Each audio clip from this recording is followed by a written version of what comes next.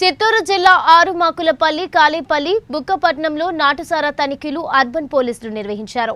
ఈ దాడుల్లో నూట యాభై లీటర్ల నాటుసారా తయారీకి సిద్ధంగా ఉన్న ఊటను ముప్పై కేజీల నల్ల బెల్లంను ధ్వంసం చేసి పొలం సొంతదారులను అదుపులోకి తీసుకున్నారు. పాండవుల కొండలో ఐదు మంది నాటుసారా కాచడానికి సిద్ధమవుతున్న సమయంలో పోలీసులను గమనించి పారిపోవడంతో వాలంటీర్ సంధ్య మరియు బీఆర్ఏ ఎంజీ రామచంద్రన్ ద్వారా తీసుకున్న సమాచారం ప్రకారం వారిని గుర్తించారు. నాగరాజు తండ్రి సీనయ్యగా గుర్తించారు.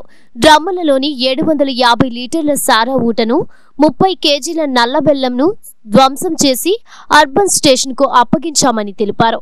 ఈ దాడిలో ఎస్ఈబిఎస్ఐ రవికుమార్ సిబ్బంది హెచ్సీలు గల గురవయ్య త్రిపురేంద్రుడు దిలీప్ కుమార్ సిబ్బంది రెడ్డయ్య చంద్రకళ పాల్గొన్నారు.